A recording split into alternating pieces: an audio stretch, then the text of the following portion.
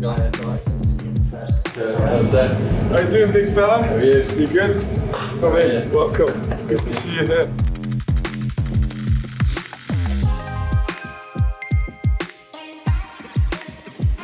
Luke, first of all, congratulations and very warm welcome to, to Burnley Football Club. How happy are you that the move's finalised and you're, and you're here at, at our training ground? Yeah, unreal. Yeah, absolutely buzzing. So, um, when I heard about the interest, I was obviously very excited, and for it happen in the end is, uh, yeah, I'm really happy about it. Very quick turnaround, wasn't it? You was uh, you was away on pre-season with Oxford and you jumped on a flight and straight over straight over to Burnley. Yeah, it seems like yeah, it's all happened so quick, really. Um, yeah, next thing you're in a taxi and you're heading to the airport, and you're uh, everything's running through your head of what to expect and what's to come. So. Um, I'm just really excited, really excited to just get to know the lads and, and uh, yeah, it's another big step up for me, but I'm really excited for it. What was your initial feeling when you when you got confirmation that you were uh, you were potentially coming here to Burnley? Yeah, I just couldn't believe it really. Uh, really excited and um, it was only my first season in Oxford, so um, to hear about interest that early was was obviously very very satisfying. So um, and then learning about the manager and stuff and and the size of the club, by which I knew already, um, it was obviously very flattering. So delighted. You, spent eight, last 18 months at, at Oxford United. Um, what are you looking to bring from your spell at Oxford over that 18 months here to Burnley? Uh, I have to just bring my own game, do what I've been doing, um, which has obviously been working for me. So um, I know it's a big step up again, which I'm used to. I came from Ireland to, to League One and, and done well there. So I'm looking forward to the next one now. Um, but yeah, it's just about bonding with the lads, getting to know everyone, fitting into like the club and stuff here, and then implementing myself. Yeah. We'll go right back to the start of your career. What, what? So you, you, you first started out in Ireland. Could you just talk me a little bit through your time in Ireland?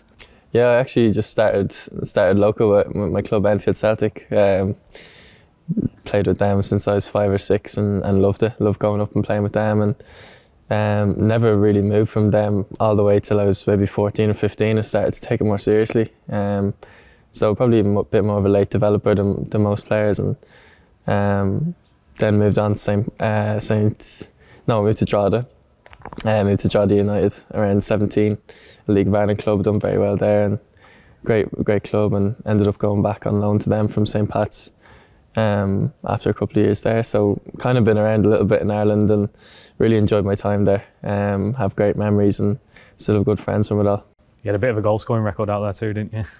Yeah, when I when I got into my into my first senior career, um, first senior team, really, I I done quite well. Just started hitting the back of the net quite regularly um, from centre back there. So great memories. Um, you're playing in front of 2,000 fans there when you're like 18, 19. And you think it's like I think it's like playing in playing in Wembley or something. But um, great experiences. Only only happy memories really. You made the, tra- the transition from, uh, from from the league of Ireland to, to League One very quickly. How did you find that from from going over from Ireland, then coming over to England and playing in League One, which is you know a, a very competitive division too? Yeah, it's a tough league. Um, probably could get overlooked a bit much. But there's big clubs in that league, and um, you can see the teams that have come up to the championship. There's big squads and, and big clubs. So obviously a big challenge. Um, coming from Ireland into that setup was difficult, but I think I adapted well. Um, Oxford were very good to me. They sort of signed me in January and, and eased me into it. They didn't chuck me straight in the deep end, and that probably helped. I had a lot of time to learn, a lot of time to build up that that feel and that kind of hunger to get into the team and stuff. So it was a slow process, but obviously it worked out in the end.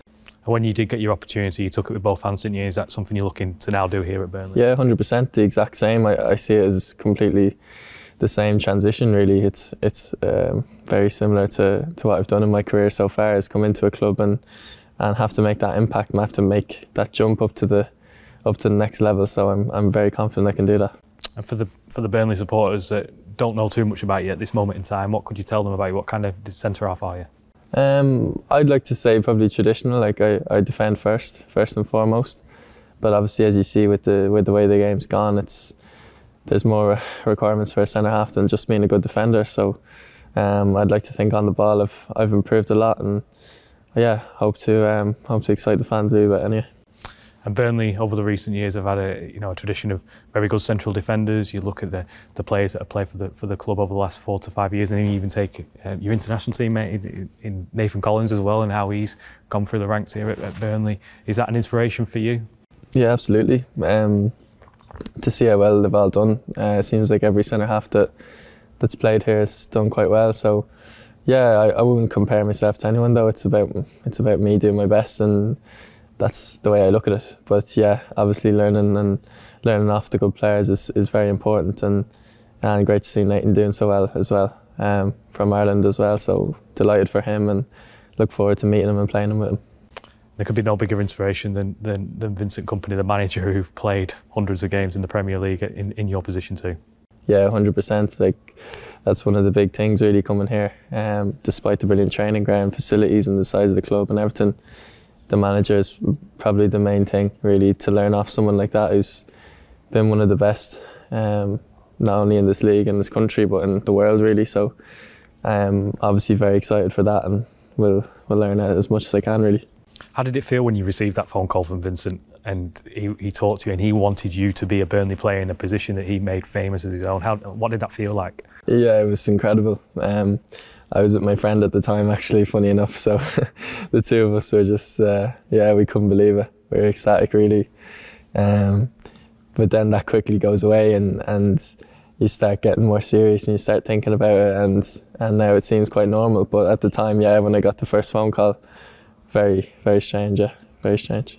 Is it exciting for you as well that you can see the philosophy of what, what Vincent's saying in his interviews and what he's and the, and the message he's putting across to you as a, as a group of players as well of the, how he's trying to bring younger players through and he's trying to build something here you know that's not just a, a 12 month project it's a four five six year project. Yeah really exciting and it's it's something that I want to be a part of as well. When you hear that um, coming from the manager it's obviously it's obviously exactly what a young player wants to hear so um, I think it's a very smart way to operate, really, that sort of method. Um, I can see it working very well for the club and uh, brings longevity to it. And yeah, hopefully I can be a part of that. Uh, you can get down to, to pre-season training and uh, get some running. You're looking forward to, to getting involved and meeting the group of lads. Yeah, absolutely. Just want to get involved now and and uh, yeah, just want to want to experience it all now.